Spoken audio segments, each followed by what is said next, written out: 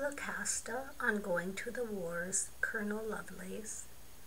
The speaker, perhaps the author, talking to the sweetheart and not wanting to be considered unkind for going off to war. The innocent one left behind needs to understand that although possibly sacrificial, it is a necessary expression of love.